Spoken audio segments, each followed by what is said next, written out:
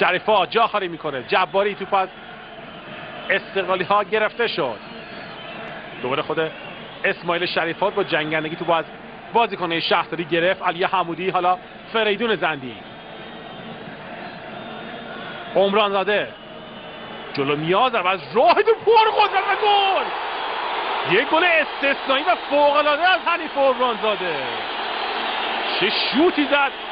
عمران زاده و دروازه حرکت عمران زاده از زمین خود استقلال به میانه میدان که رسید. ضربش از پشت محوطه جریمه پرقدرت زد و دروازه شهرداری یاسوج باز شد.